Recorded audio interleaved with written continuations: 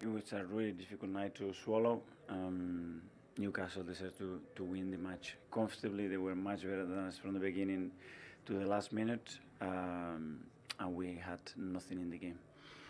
Can you explain the performance then?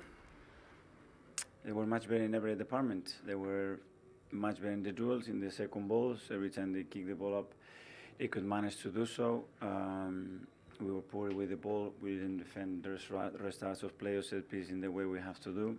We had nothing in the game. But why poor in so many areas on such a big night? Why do you think? Well, a lot of things happen as well during the night uh, with the substitution that we have to make through injuries and everything, but it's not excuse. Newcastle deserves to win the match from the beginning because um, they were much better than us in, in everything that a full match requires to, to be on top of that. Your youth, your energy is usually such an asset, but tonight, rather than youthful, did it look like an inexperienced team, maybe not quite ready for that next step? That's what we have to think about. But uh, it's true that we could not cope um, tonight with the game that we have to play here.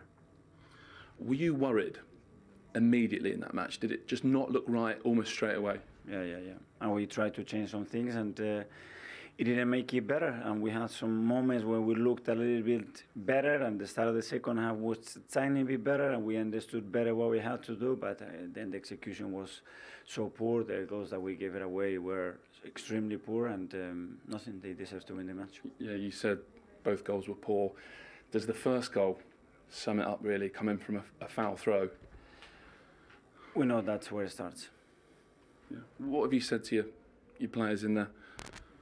What I'm saying here that um, is extremely disappointed that Newcastle were ten times better than us and fully deserves the match, and uh, and the performance is just nowhere near the level that um, we have to play. We want to play in the Champions League. Uh, are you shocked by it? You seem almost stunned by what you've seen.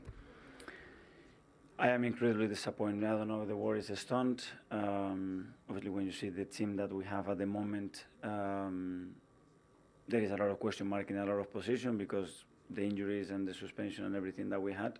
But uh, again, it's not an excuse. We today we're at the races. Yeah. How many players out there were not 100 percent?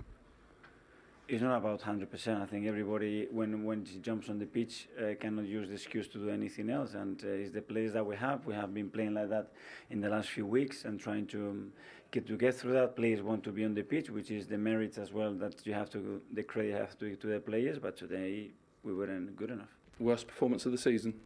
I don't know. It's obviously a very painful one. Yeah, when you won at Villa mid March, six points clear of Spurs, it has been more erratic, the form since then. Why do you think that is? Well, a lot of happened to the squad as well, with with the amount of injuries that that we picked and uh, the changes that we have to make. But uh, still, it was in our hands. Today is not in our hands. We have to beat Everton, and we have to wait for. Uh, for Norwich to beat Spurs, and that's uh, that's what we have to wait now. Yeah. Do you still feel like there is a tiny chance? There's always a chance in football, and you have to be there just in case that chance appears. Thanks for your time.